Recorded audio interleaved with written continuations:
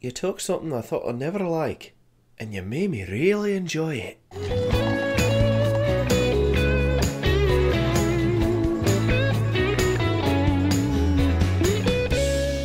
Hey guys, this is my review for episode 11 of Supernatural Season 12.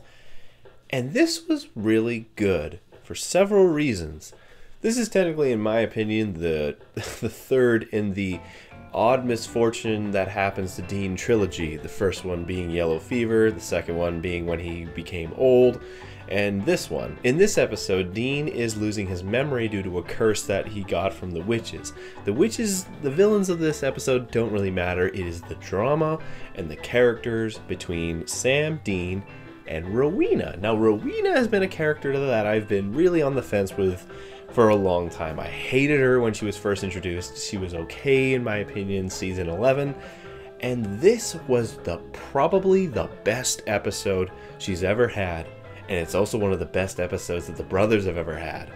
There's a lot of emotional content in this episode that reminded me, oddly enough, of the kind of a polar opposite of the Mystery Spot episode. Sam is dealing with the idea that Dean is going to forget who he is, and he's going to forget his family, he's going to forget Dean, he's going to forget his brother, and then eventually he's going to die. And the thing that I kept on thinking throughout this episode is this is something that I fear. This is not just a, a curse, but it's something that people deal with. People have seen this happen to their elderly family members. The idea that dementia or Alzheimer's setting in, and the idea of not them forgetting everything, but just forgetting who their family members are, is horrifying in itself. So, taking not only a personal and realistic aspect and putting a supernatural twist on it was actually something really smart. And this episode, again, was actually really well constructed. We saw the humor in the elements, but there was a lot of character. Like the scene where Dean is looking at himself in the mirror and trying to memorize things was incredibly powerful. I was uh, surprised. I didn't think these boys really had this much sort of in them anymore, and it surprised me. Now, admittedly, how the episode ends was kind of, yeah, I thought there was a little bit of silliness here. The episode takes a little bit to start, but really, I liked this episode. This is actually probably my favorite episode of this season by far. I think that the elements were really well done. The conversations between Dean and Rowena, not only about their moral decisions of what they've done in the past, but then kind of what they've meant to try and be to themselves and to other people, was also really cool. The, the connections that came up in this episode are things that I never thought I would see in this show. And it made me like Rowena as a character, and I never thought I would ever like her as much as I did in this episode. The characters were great.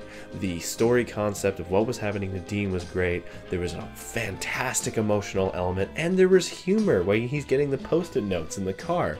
And when he holds up the post it note at the end with witch killing bullets while holding the gun, that was funny. But also, as I said, this episode hit you on an emotional level because it was talking about something that we can relate to. The thing that I thought was a kind of a little bit of an odd addition, again, this reminded me of how Yellow Fever ends. They have him with clips of him uh, going on the, the rodeo bull, all the while showing clips of him in the past of him having his memory loss. I don't know, I thought that was kind of weird. But that's Roosters, ladies and gentlemen. That is Pitt Meadows. If you ever wanted to go to one of the worst bars, in my opinion, it's Roosters. But then that's Pitt Meadows. There's nothing else to do in Pitt Meadows except go to Roosters. Thank God I don't live in Pitt Meadows. Anyways, I'm going to give this episode a 7 out of 7. This is by far, in my opinion, the best episode of season 12 so far. I liked episode 4 because it was reminiscent of the past, but this episode was a character episode and it reminded me so much of Baby.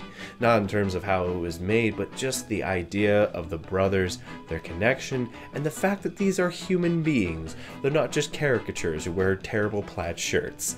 Anyways, guys, that's all for me. I hope you enjoyed this review. I'll see you guys next time.